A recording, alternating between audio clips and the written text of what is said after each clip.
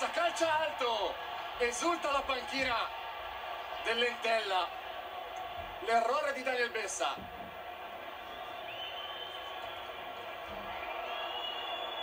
Colpito male con il corpo all'indietro. Sì, è arrivato Poca sbilanciato. convinzione. Perché questo succede quando tu arrivi con la doppia idea. Tiro a giro a fil di palo oppure tiro forte. Inevi- Inevitabilmente perdi equilibrio.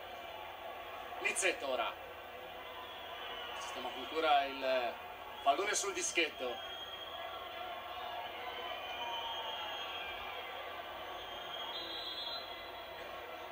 Parte il numero 10 dell'Entella con il mancino. Intuisce ancora Marchetti, ma anche qui non ci arriva. Questa non era facile da intuire perché è arrivato con una traiettoria di corsa che poteva portarlo sia a calciare di piatto sul palo alla destra di, di Marchetti sia ad incrocio. Tocca ora a Veloso.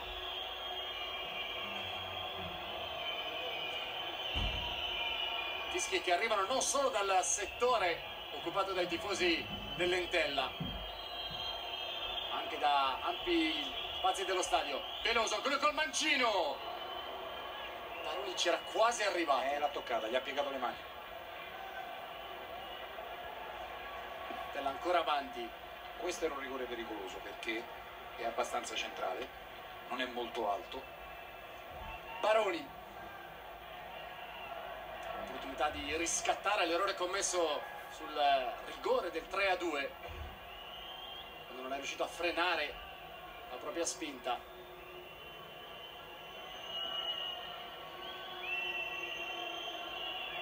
Riccardo Baroni sistema con cura il pallone sul dischetto. Qualcosa da ritire Marchetti. Pisa tantissimo questo pallone in corsa centrale anche per Baroni. Stesso palo, questa volta Marchetti ci arriva e dice di no a Baroni. E allora Sandro ha l'opportunità di pareggiare i conti. Troppo centrale. Sì, troppo centrale. Non deve...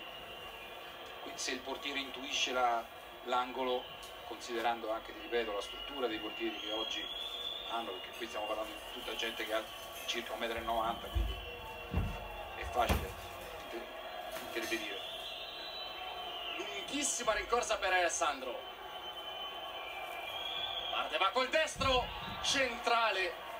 Paroli però si era già lanciato sulla sua destra. E allora è di nuovo parità tra Genoa e Intella.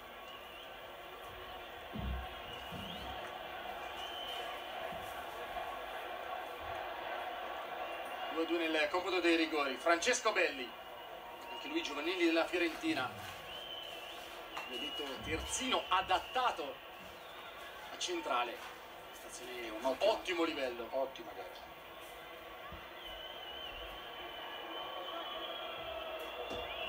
Fin qui tutti hanno scelto una rincorsa centrale per non dare indicazioni al portiere. Parte Belli, non soltanto la rincorsa centrale, anche la conclusione. Si è calciato in, modo abbastanza insolito perché è andato con l'interno piede, però la palla è andata centrale. Vedi? Solitamente chi calcia in questo modo la mette a fil di palo dall'una o dall'altra parte. Capitan Biraschi.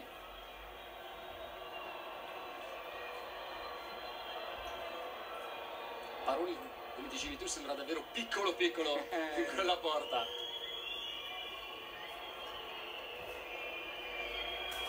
Responsabilità in più che arriva dalla fascia indossata da Davide Biraschi. Ma con il destro! Il Paroni era rimasto fermo, si è tuffato in netto ritardo. 3 a 3. Se non hai, se tu puoi leggere la traiettoria di corsa dell'avversario perché in base al tipo di corsa che fa poi devi calciare con quella superficie del piede, a meno che non parliamo di Messi, Maradona o, O Cristiano Ronaldo, giusto per dire dei nomi Eh, abbiamo capito, insomma, dai. a meno che non parliamo di questi campioni, il portiere solitamente battezza un angolo, ma in questo caso Paroni è rimasto indeciso, quindi poi Paolucci, anche lui sceglie una rincorsa centrale. Ah, Paolucci con il destro, spiazzato completamente Marchetti. E quanto pesa questo pallone per Piontek? Se segna si va a oltranza, adesso se sbaglia il Genoa è a casa. sono curioso di una cosa. Sono curioso di capire se adesso andrà ancora con la stessa rincorsa e tirerà a incrocio a fil di palo sulla destra di Baroni. Perché se fa ancora questo rigore gli va dato un premio. Adesso li ha calciati allo stesso modo. Eh, due uguali, identici. Qui anche psicologia. Cambiare o confermare l'angolo. Però non ha tirato la padula. Parte Piontek, la finta, spiazza, cambia angolo questa volta. Paroni è battuto, si andrà a oltranza, non finisce più. Hanno capito i giocatori del Genoa, hanno capito di dover rallentare e leggere il movimento del portiere. Intelligenza di Piontek che lascia partire Paoloni, Sì. beh, Paroni. Poi lo Finta, no? batte con il Sia lui, destro. sia lui che Biraschi sono arrivati mezza finta. Di Paola ora. Beh, la punizione l'ha tirata forte. Vediamo se sceglierà la precisione o la potenza per eh, questo rigore. Parte di Paola e va di potenza e non sbaglia. Ancora avanti E ha messo, Lentella. e ha messo a grande rischio la rete perché un tiro veramente È tutto nel piede destro. Termine Zukanovic.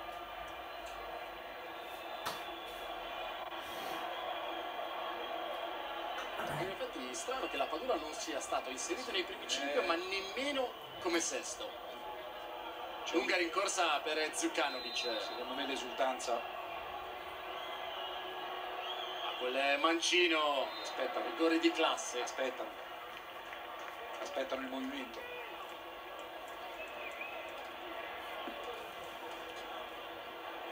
Al termine della sfida immediatamente la linea alla sfida tra Torino e Sud-Tirol. Problema è che non si vede la fine di questa sfida. Icardi ho avuto l'impressione che camminasse quasi con i talloni come se avesse delle sensazioni di crampo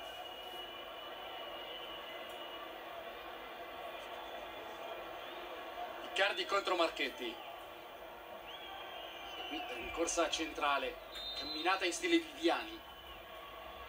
Parte Icardi e non sbaglia, che rigore, mamma mia, grande Icardi mamma mia. grande Icardi Paroni Icardi in questo momento è il primo è il migliore in campo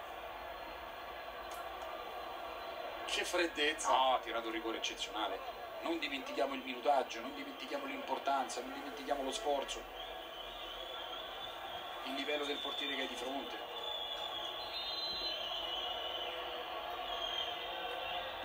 E Romulo non sbaglia nemmeno lui.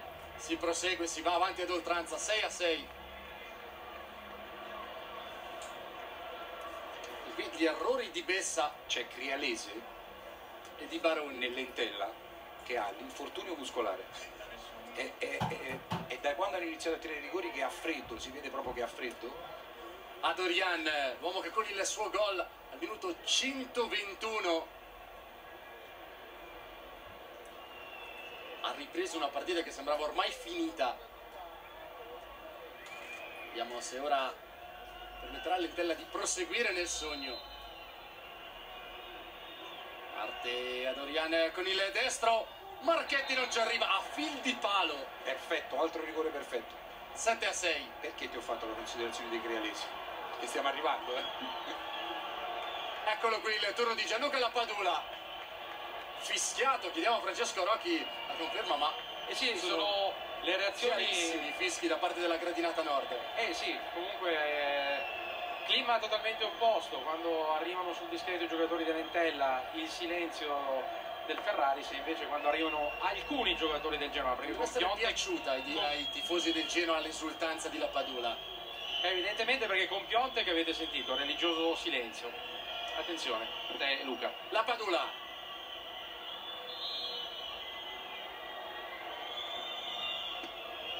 Ma Lappadula, il miracolo di Paroni. La Virtus Entella batte calci di rigore Genoa e si guadagna gli ottavi di finale di Coppa Italia contro la Roma. Meritatamente, E poi dicono che il calcio non è uno sport bellissimo. meritatamente.